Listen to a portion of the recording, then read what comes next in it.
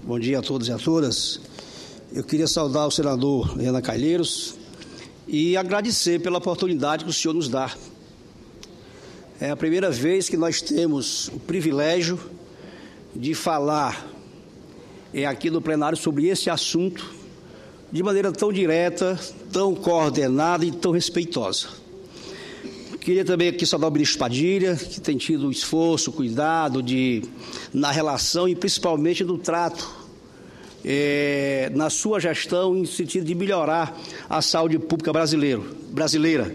E, ao mesmo tempo, reconhecendo o seu esforço e tendo também o seu sacrifício em fazê-lo, pelas condições não adequadas com que ele trabalha para garantir saúde de qualidade a todo o povo desse país. A ministra Miriam Belchior também, pela delicadeza de vir aqui, nos apresentar seus dados, seus argumentos, que infelizmente o ministro não, não, nos convence lamentavelmente. A gente pede à senhora permissão para discordar já desde o início. É, a Socorro, que é a presidente do Conselho Nacional de Saúde, mais uma mulher à frente de um órgão tão importante que tem tido cuidado de se expressar, ao se expressar, ela traz o sentimento da rua, mas com a habilidade de quem tem que militar numa área em que a boa relação tem que ser preservada. O Ronald, que coordena o movimento Saúde Mais 10, e eu preciso aqui falar da minha posição, de onde estou falando, né? Eu também tenho que ter cuidado ao me expressar e de lembrar que eu estou aqui representando os secretários estaduais de saúde. Não é uma missão fácil. Por isso, eu já me desculpo. O excesso fica por conta da minha militância no Sistema Único de Saúde desde que me formei. Já tenho 32 anos de formado. Os acertos por conta do que eles me orientaram, mas eu sou obrigado, por me considerar um suzista, em colocar as coisas como elas são. É, a minha assessoria me deu dados suficientes para que eu pudesse aqui fazer aqui uma, uma digressão, uma dissertação com dados que podem provar para lá e para cá que o Brasil, na verdade, subfinancia saúde e, sub, e subfinancia de maneira drástica. Né? Mas os argumentos do ministro Padilha, os argumentos da presidente Socorro, os argumentos do senador Humberto Costa, que tem tido um zelo muito precioso no trato dessa questão, até porque já foi ministro da Saúde, sabe que entre o desejo de fazer e a condição de efetivar moram algumas alguns pontos ou algumas questões que lhe impede de fazer, mesmo que o seu ideal lhe cobre todo dia na hora de dormir é, pela missão não cumprida. Por isso que eu peço que venha, porque vou falar, e, e peço também que sempre que se faça uma crítica ou análise sobre a gestão da saúde pública, se olhe para o lado daqueles 5.600 municípios brasileiros que têm cada um à frente da gestão da saúde, um secretário ou uma secretária que essa hora pergunta como é que pode ou como é que deve fazer para dar conta da sua missão, e há pouco eu vou dizer isso aqui, até porque eu estou aqui como CONAS, mas também ali está meu colega do Conselho Nacional de Secretários Municipais de Saúde, doutor Enio Sevilha, secretário executivo do CONASEMES, por quem a gente aqui também se expressa tentando levar o recado da gestão. Ao ter que desprezar os números, que não vou mais levar esse argumento à frente, porque senão nós vamos repetir. Eu queria primeiro saudar a minha bancada de senadores do estado do Ceará, com muito orgulho estão aqui. O senador Inácio Arruda, o senador Pimentel e o senador Eunício Oliveira, demonstrando os três que lá no Ceará a saúde é prioridade e que eles têm, na verdade, o compromisso de seguir rapidamente para onde vai a discussão que pode levar é, a dias melhores para a população daquele Estado. A importância do SUS. Ontem nós comemoramos aqui em Brasília, lá no Memorial JK, nós comemoramos os 40 anos do PNI, Programa Nacional de Imunização. O único país no mundo que vacina 300 milhões de pessoas a cada ano, oferece 42 tipos de vacina, que tem 33 mil postos de aplicação de vacina e que consegue, na verdade, eliminar doenças como a paralisia infantil há mais de 20 anos, que já consegue é, tratar o sarampo não como extinto, mas sob controle, já há mais de 7 anos sem, sem sarampo autóctone. E é bom lembrar que os exemplos, quando vêm de outros países grandes, como a Europa, por exemplo, eles são louvados. Mas alguns nossos que são feitos por nós de, do Brasil nem sempre são lembrados. É bom lembrar que na Copa do Mundo que houve na última foi pedir às pessoas que se vacinassem contra sarampo antes de se deslocar para a Europa. Né? Nós sabemos que ainda tem paralisia infantil em vários países da Ásia e da África, e aqui não mais. Por isso eu queria lembrar que ontem, nos 40 anos do PNI, eu queria dar esse como principal exemplo da sustentação do Sistema Único de Saúde e da sua seriedade em tratar a coisa pública. E aí, nesse exemplo, mora outro exemplo que é o da ação tripartite do Sistema Único de Saúde, onde, na verdade, esse exemplo de sucesso ele é composto por uma ação do Ministério da Saúde, por uma ação efetiva dos estados do Brasil e principalmente da belíssima força de trabalho que tem os municípios brasileiros. E aqui vai a minha primeira preocupação dentro da argumentação de não querer usar número, mas ser obrigado a usar. Quando da votação da emenda 29 no ano 2000, os economistas que a pensaram fizeram com licença da palavra aos economistas, mas eu tenho que dizer, fizeram a primeira maldade com o Sistema Único de Saúde. E eu não tenho todo tempo para dizer a não esse.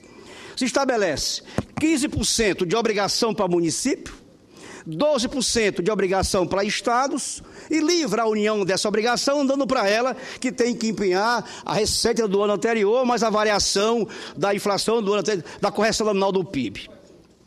Levou a quê? Levou a seguinte situação. Município 15%, Estado 12% e a União, simplesmente, se você olha é, a variação do gasto da saúde pelo percentual do PIB, ele está congelado. É 1,7, 1,7,71, 1,69, ele está congelado desde o ano 2000. Então, as pessoas que negociaram aquele tempo o financiamento da saúde, ou não viram, ou aqueceram facilmente, e criaram para estados e municípios uma situação muito delicada, que é a que se encontra hoje o país chamado Brasil, que não consegue sair dessa, dessa situação que foi criada e está aí até agora. Aí vem toda a luta para se votar e para se aprovar a regulamentação da emenda 29. Esta, no meu mestrado na UNB, eu tive o cuidado de estudar como foi votada a emenda 29, como ela foi tratada desde 2000 até 2011. Eu li alguns milhares de páginas de documento. E ao resultado sair, nós tivemos uma frustração, porque o que se deu na emenda 29, os ganhos não são tão ganhos assim. Os ganhos é o que já era dado aos estados e aos municípios como obrigação, apenas foram, na verdade, legalizados de maneira muito clara. Mas em termos de dinheiro novo, não tivemos dinheiro novo. Então, você frustra em 2000 e frustra em 2011 e novamente mantém estados, municípios e União numa situação de conflito, privilégio para um e para o outro a obrigação de botar 12 e 15. Daí a necessidade de estudar essa saúde mais 10 como está posta. E não fizemos isso por acaso, nem foi da nossa cabeça. Nós estudamos e ouvimos alguns economistas, que são velhos sanitaristas, conhecidos e ouvidos pela casa, quando é necessário você fazer aqui, principalmente na época do orçamento. Eu me lembro, e vou lembrar aqui a todos, e é bom resgatar, e nós também, Precisamos fazer isso. Eu não sei o dia, mas eu sei o mês e sei o ano.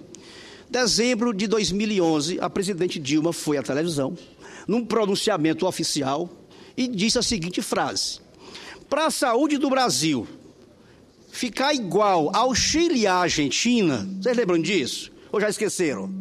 Nós precisamos de mais 42 bilhões de reais. Ela falou isso. Em algum lugar está arquivado. Nós precisamos, para ficar igual o Chile, Argentina, de mais 42 bilhões de reais. É esse o dinheiro que estamos atrás. Não queremos ficar igual a Alemanha, nem igual a Inglaterra, nem igual o Canadá. Queremos ficar igual o Chile e a Argentina, nossos irmãos aqui da América do Sul. Qual é a minha preocupação segunda? É porque, é, ministra Miriam, o Sul chegou para mim ao ponto de não retorno. O que é que eu chamo de ponto de não retorno? Com a aprovação da emenda 29 do ano 2000, que se criou a obrigação constitucional de 12 e 15%, estados e municípios foram obrigados em quatro anos a ajustar a sua conta e chegar a esse valor. Acontece que o incremento do gasto da saúde por aumento de densidade tecnológica, por envelhecimento populacional, por necessidade de crescimento da assistência, esse recurso foi sendo aumentado. E aí, se você pega de cada 100 reais gasto em saúde pública no Brasil, e aí você decompõe esse gasto em União, Estados e municípios, você vai ver que naquele tempo, de cada 100 reais, 62, 60 reais era gasto da União. Hoje, só é 45 e em queda. O aumento nominal é visto, mas o aumento nominal também é visto no Estado e no município.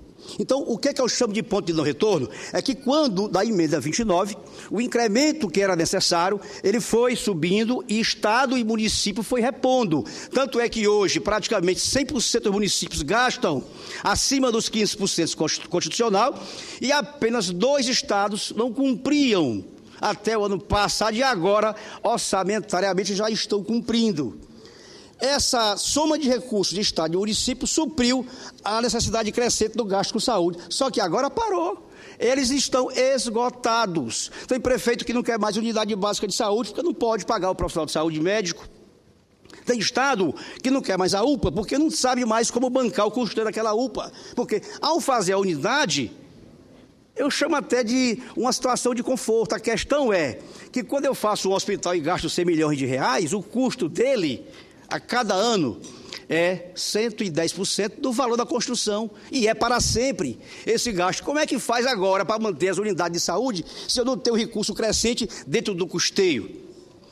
Então, é isso que eu queria colocar com essa preocupação de dizer que o Saúde Mais 10 veio para essa casa trazendo 2 milhões e 200 mil assinaturas, superando as assinaturas do Ficha Limpa em 900 mil assinaturas. E o que a presidente Socorro acabou de falar é que a gente sente que parece que não teve um grande impacto. Mas esse impacto é sentido.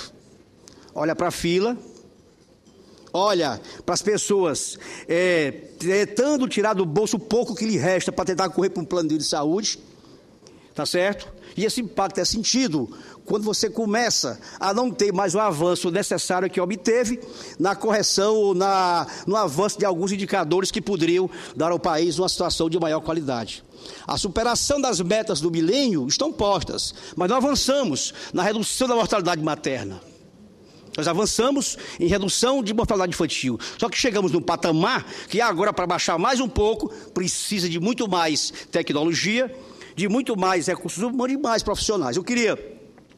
É, eu tenho aqui uma lista grande, a Viviane vai me desculpar porque eu não usei aqui os seus, suas tabelas, mas eu queria dizer o seguinte: a, a nossa preocupação já é com o retrocesso. Porque, embora estados e municípios estejam em dificuldades, a obrigação constitucional de botar 15 e 12 fez com que nós fôssemos ganhando mais massa financeira para o sistema de saúde. Se eu crio uma outro, um outro mecanismo aqui, na, aqui na, no Congresso, de fazer outro jeito, de fazer uma obrigação constitucional, eu corro um perigo muito grande de desestruturar o financiamento do sistema de saúde brasileiro. Um apelo. Pode até não ter mais dinheiro. E nós vamos ter que nos contentar com isso, fazer a saúde que podemos fazer, sabe? E aí pensar como fazer essa mágica de superar a dificuldade com o recurso que tem, mas por favor, não me mudem em nome da história desse país e do Sistema Único de Saúde a fórmula que está posta hoje como a forma que obriga ou a forma que compromete um gasto com saúde brasileiro nesses percentuais de 15% e 12%. Por favor, essa não é a última, essa não é a, a saída principal.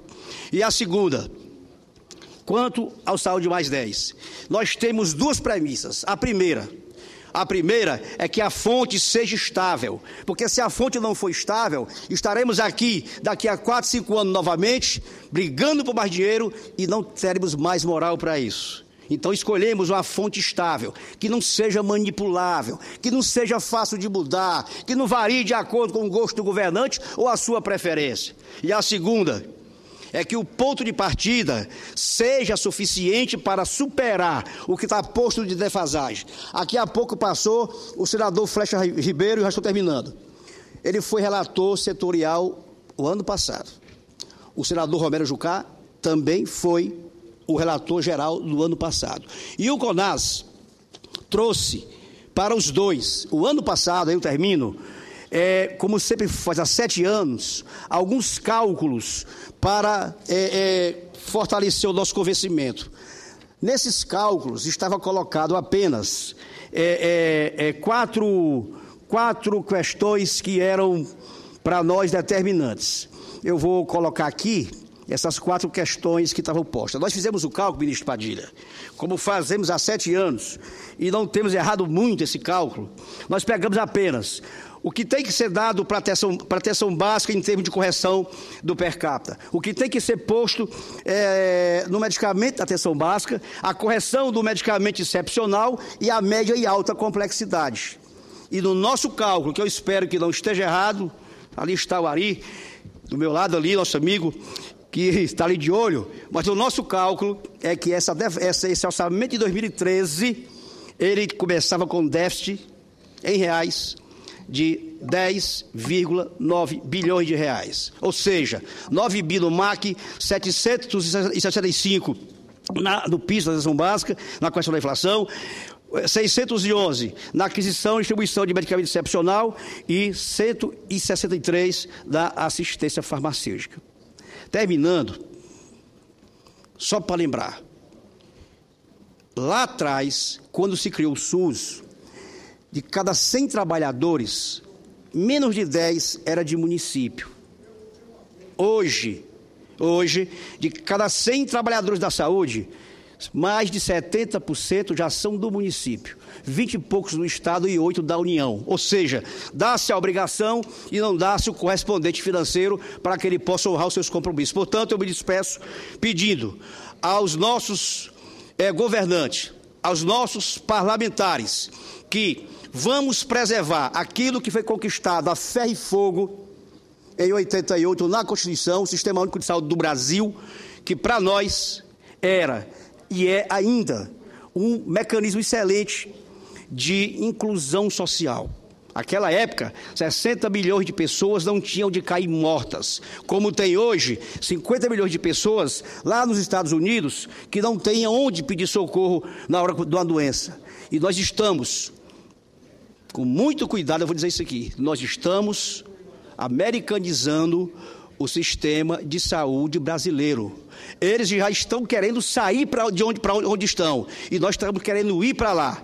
Tá? Nós já temos aí uma, um percentual alto de pessoas com plano de saúde e à medida que se subfinancia o sistema de saúde público, você fortalece o sistema privado. À medida que se financia a saúde é, é, privada, você mata o sistema de saúde pública. Portanto, o povo tem que saber que o governador Wellington já foi governador, ele deve ter recebido centenas de vezes os seus secretários municipais estaduais de saúde, ele sabe que não é choradeira, nem é papo de gestor, que eu não sou mais. Agora eu falo de quem já foi médico de saúde da família, de quem coordenou saúde da família, de quem foi secretário municipal de saúde, de quem foi do lugar de que já foi secretário estadual de saúde. E olha, não é só má gestão, não.